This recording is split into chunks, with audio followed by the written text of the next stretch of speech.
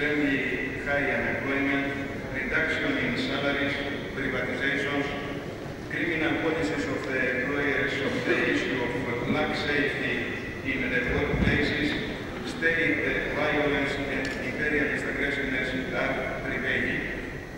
It is uh, characteristic that uh, while the produced wealth is increasing and the markets are full with uh, products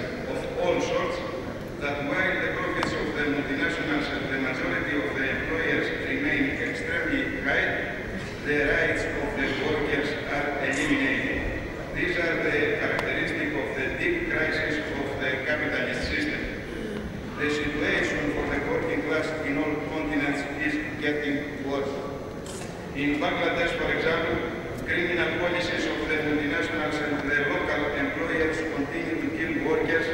In Turkey, the state violence and the anti-worker attack is escalating. In Costa Rica,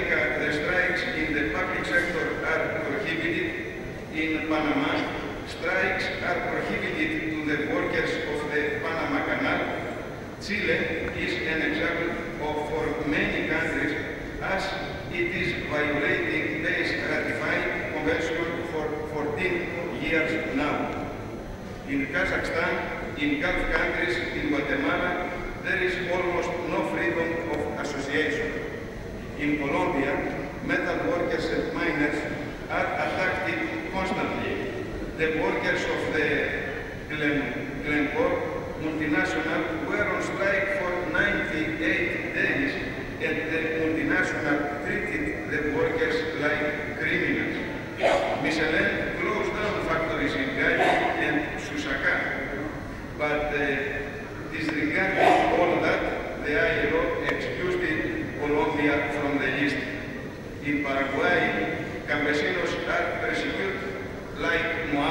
and others. The European working class is pushed to poverty by the policies implemented by the European Union and the governments in favor of the employers. The workers and people of Africa are living in extremely bad conditions while their natural resources are stolen daily by the multinationals.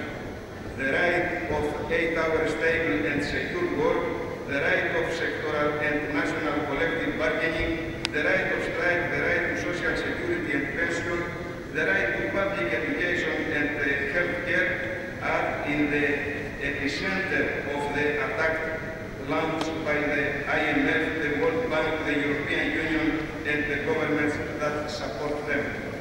As World Federation of Trade Unions, we will not stop to defend these rights. We will continue organizing international activities and action days. We will continue to globally denounce these policies. We will continue to organize on the ground of block them. We will continue to call our members and friends the front line of the struggles for the rights of the working people. Unfortunately, the role of the ILO and its regional officers are not assisting this direction. On the contrary, the regional officers of ILO in various continents, as example in Central America and Middle East, follow a policy of discrimination against part of the workers. We, we are asking the discrimination against the members and friends of WFU to stop. We are asking for proportional representation. As World Federation of Trade Unions, we will continue to call the international trade union movement in joint strikes against exploitation and the capitalist barbarism. At the same time, we call upon all militant trade unions with international spirit and solidarity to stand on the side of the Palestinian people to his, his struggle for his own independent homeland, to defend the rights of the people in Libya, Iraq, Syria, Mali,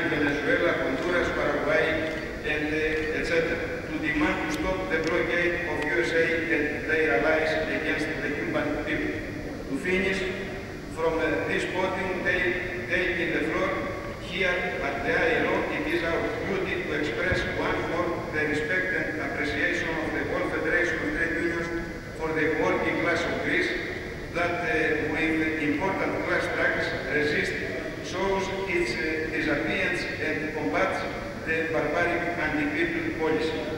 We condemn government of Greece that fired out, out of the blue and overnight 2,600 workers of the Greek public radio and television and with a dictatorial decision closing down the Greek public television and the Greek public radio. The workers and the two millions of unemployment